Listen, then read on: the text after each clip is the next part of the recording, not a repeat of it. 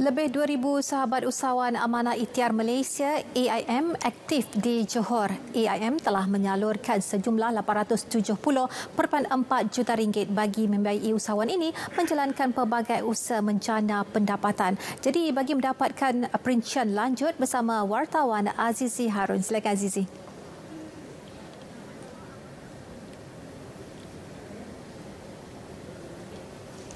Iza, memberi tanda kasih menerima tanda sayang ini satu slogan yang uh, cukup sinonim dengan AIM ataupun Amanah Ikhtiar Malaysia. Yang benar jumlah uh, lebih uh, 800 juta itu satu jumlah yang besar. Yang memberinya memberi dengan rasa kasih dan yang menerimanya perlu menyayangi apa yang diterima.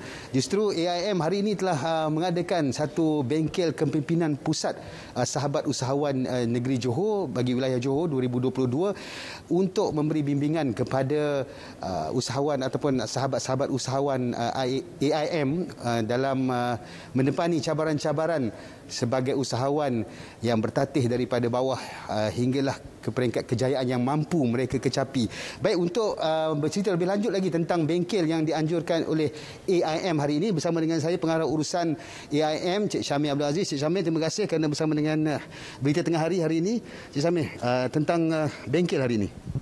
Jadi bismillahirrahmanirrahim. Uh, bengkel hari ini kita mengadakan bengkel kepimpinan pusat uh, sahabat usahawan Amanah Ikhtiar Malaysia wilayah Johor yang mana kita ada seramai 23,000 orang sahabat di seluruh negeri Johor berangkumi 8 uh, cawangan. Jadi sepanjang penubuhan AIM uh, sejak tahun 2004 sehingga sekarang kita telah menyalurkan sebanyak 800 juta.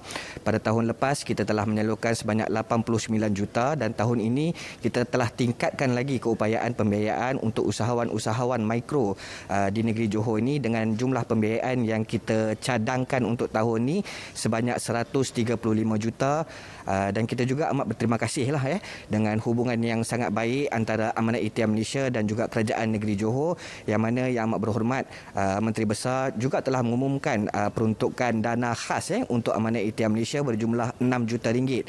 6 juta ini adalah satu hubungan yang sangat signifikan lah antara Amanat Ikhtiar di mana inilah merupakan merupakan satu-satunya kerajaan negeri yang telah mengumumkan uh, peruntukan yang bagi saya kiranya agak besar lah eh. 6 juta ini akan dapat dimanfaatkan oleh uh, saya andaikan seramai 2,000 orang sahabat baru. Jadi pada tahun ini insya-Allah kita dapat memberi peruntukan uh, suntikan modal sebanyak kepada seramai 25,000 orang uh, sahabat-sahabat usahawan di sekitar uh, negeri Johor ini sahaja. Ya. Itu negeri Johor saja. Jadi uh, dalam uh, setiap uh, peruntukan yang diberi tentu ada sasarannya uh, kepada sahabat usahawan AIM ni. Jadi pada tahun ini fokus kita bukan lagi kepada kuantiti tetapi lebih kepada kualiti.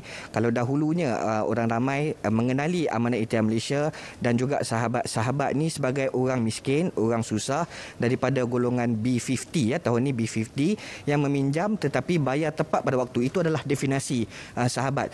Uh, definasi ini lahir daripada keadaan sekeliling mereka ya orang susah. Jadi orang kenal dia orang ni sebagai orang susah. Pada tahun ini kita tidak lagi nak melihat keadaan sekeliling mereka. Kita nak projekkan kita nak lancarkan dan kita nak pancarkan nilai yang ada dalam diri mereka iaitu nilai usahawan. Jadi kita telah menjenamakan semula sahabat Amanah Ikhtiar menjadi sahabat usahawan Amanah Ikhtiar Malaysia. Jadi di sini kita akan pancarkanlah kan nilai-nilai usahawan. Jadi bukan senang, bukan semua orang dapat berniaga.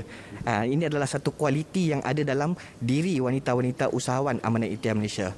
Syamil, terima kasih kerana bersama dengan Berita Tengah Hari hari ini.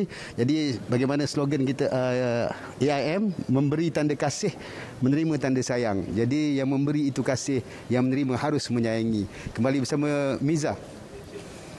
Baik, terima kasih Azizi. Kemeriahan kempen Pilihan Raya Umum Dewan Negeri Johor diwarnai dengan hantaran di pelbagai platform media sosial TikTok antara medium pilihan masa kini dan berikut kita saksikan kepelbagaian strategi parti dan calon mendekati pengundi. Laman TikTok Barisan National Youth Volunteers BNYV syarat dengan promosi bagi meraih perhatian pengundi mengundi parti itu.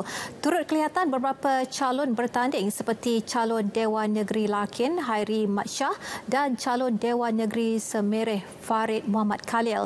Malah calon Dewan Negeri Benut Datuk Hasni Muhammad juga menggunakan sebaik mungkin platform ini.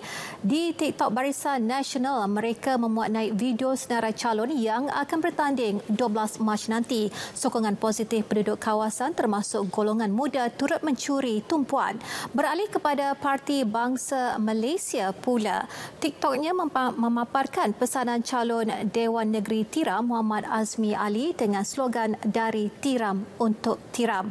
Pakatan Harapan Johor menerusi laman TikTok DAP Johor menyaksikan jentera parti memasang kain rentang dan bendera disertai mesej daripada calon calon bertanding. Manakala calon PN Dewan Negeri Lakin Zulkifli Bujang turut menyampaikan mesej pribadinya tidak ketinggalan parti muda menyeru bangsa Johor di Singapura menunaikan tanggungjawab mengundi secara pos.